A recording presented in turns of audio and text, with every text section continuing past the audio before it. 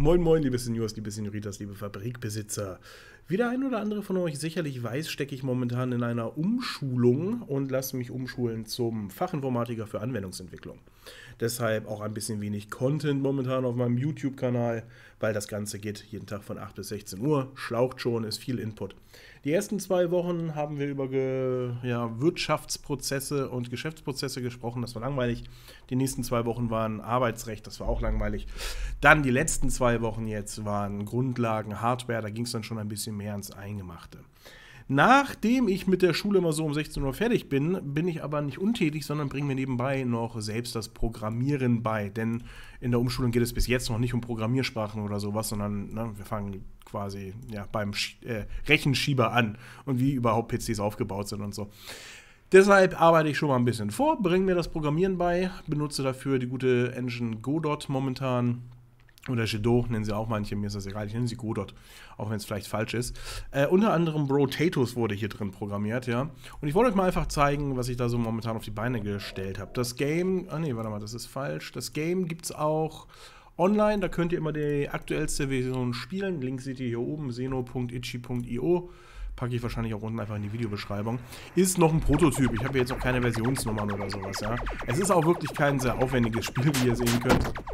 Man ist dieses kleine weiße Quadrat, läuft hier rum und äh, schießt die anderen farbigen Quadrate ab und sammelt Punkte.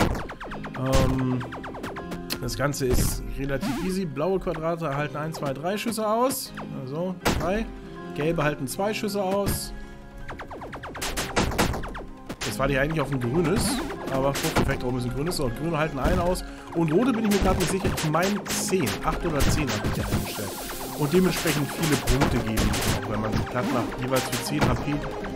Also für, für jeden HP, den sie haben, sie 10 Punkte. So, also der Grün 1, Gelb 2, Braun 3 und der Rücken 8. Also 80 Punkte. So, dann gibt es noch zwei Power-Ups hier, wunderschön. Einmal schnell schießen. Ja, für 5 Sekunden hat man maximalen, sag ich mal, Attack Speed. Und dann gibt es diese Power-Ups hier, die sorgen dafür, dass äh, jeder Schuss Instant Kill ist. Also diese ja, magentafarbenen, nenne ich das mal hier. Guck, selbst der rote da oben wird jetzt mit einem Schuss sterben. Und dann sammelt man ihre Punkte. Das Ganze hat auch eine kleine Schwierigkeitskurve. Das heißt, noch fällt es nicht so auf, aber die Quadrate kommen tatsächlich immer schneller. Äh, ja, noch geht's, aber mit jedem Spawn wird der Timer zum nächsten Spawn kürzer, äh, sodass es exponentiell im Quadrat quasi durch die Decke schießt. Und oh, ihr werdet es gleich sehen, es kommt dann relativ schnell ein Punkt, wo gar nichts geht. Selbst wenn man so ein unglaublich Spieler ist wie ich. Könnt ihr gerne mal online ausprobieren. Ähm, momentan ist das die aktuelle Version. Wenn ich das Video auf YouTube hochgeladen habe, was ihr seht, ist wahrscheinlich schon viel neuere Version da, weil ich hier momentan tatsächlich immer täglich dran und weiterarbeite. Und ihr seht schon, jetzt werden tatsächlich so viele dass ich es nicht mehr komplett äh, gewuppt bekomme. Ja? Ich bin jetzt im Code schon ein bisschen weiter. Ich dachte mir, ich will noch ein drittes Power-Up haben. Dieses dritte Power-Up soll dafür sorgen, dass Schüsse, wenn das Power-Up aktiv ist, wie ihr hier sehen könnt, nicht verschwinden, wenn sie den Rand berühren, sondern quasi zurückgesteuert werden und auf der anderen Seite der Spielfläche wieder rauskommen. Das habe ich jetzt noch nicht völlig implementiert. Ähm, es gibt diesen Trank quasi oder dieses Power-Up noch nicht. Ich habe es jetzt erstmal so eingestellt, dass es für alle Kugeln gilt. Ja? Das heißt, jeden einzelnen Schuss, den wir jetzt hier raushauen, wird auf ewig hier äh, von A nach B splitten und immer wieder rumgeschleudert werden. Ist besonders lustig natürlich, wenn man jetzt das türkisene Schnellschieß-Upgrade einsammelt und den hier bringt. Oder den hier, zack, zack, zack, zack, zack und schon kommen die Schüsse auf der anderen Seite wieder raus. So, der Grund, warum ich euch das zeige, äh, weil ich schon ein bisschen stolz drauf bin, muss ich ganz ehrlich sagen, was ich jetzt in den drei Tagen auf die Beine gestellt habe. Am Anfang habe ich mich noch an einem Tutorial lang gehangelt, aber mittlerweile bin ich komplett tutoriallos ähm, und arbeite quasi an dem Projekt einfach so weiter, lerne jeden Tag neue Sachen, versuche die zu implementieren und mir zu überlegen, okay, was könnte ich jetzt noch Cooles mit diesem neuen Trank oder dieses neue Power-Up quasi ins Spiel bekommen. Und es macht richtig, richtig, richtig fett viel Spaß. Ja, wie gesagt, die Version jetzt hier natürlich gerade wird so nie released werden, ähm, weil dass die Kugeln von links nach rechts und von oben nach unten durchgereicht werden, soll natürlich nur ein Power-Up sein, das in 5 Sekunden wird und das ganze Spiel über.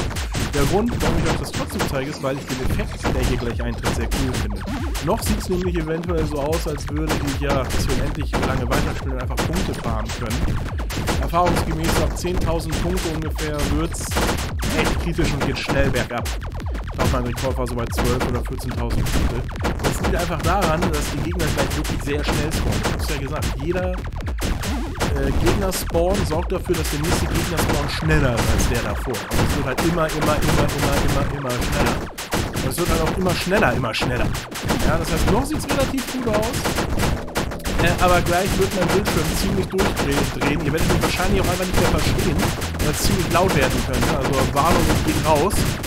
Und viel Spaß, wenn wir uns das jetzt angucken. Jetzt geht's los.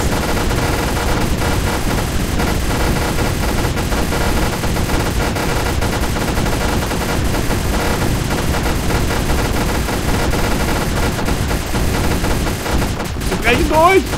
Fuck, sie brechen durch! ich feiere das. ist ein schönes kleines Game. Mehr wollte ich eigentlich auch gar nicht sagen, Leute. Ich wollte euch nur ein kleines Update da lassen. Ich, ich bin noch am Leben. Ich werde ein paar alte Let's Plays, die ich noch auf dem Festplatte habe, hochladen. Haben nichts mit Tutorial zu tun. Da ist einmal StarCraft dabei, da habt ihr Outer World Sachen. Ähm, wahrscheinlich auch Titanfall 2. Äh, ja, und noch so ein paar andere alte Projekte. Und damit hier nicht so langweilig ist. Ich habe euch aber natürlich nicht vergessen. Sobald ich wieder ein bisschen mehr Zeit habe, gibt es dann auch wieder Factorio-Content versprochen. So, in dem Sinne, ich wünsche euch was. Haut rein, Leute. Wir sehen uns beim nächsten Mal. Wenn ihr das Game zocken wollt, guckt immer nach dem aktuellen Stand der Dinge unten in die Videobeschreibung in den Link. Ja? Und lasst euch sonst auch gerne auf meinem Discord-Server sehen. Also, haut rein, passt auf euch auf.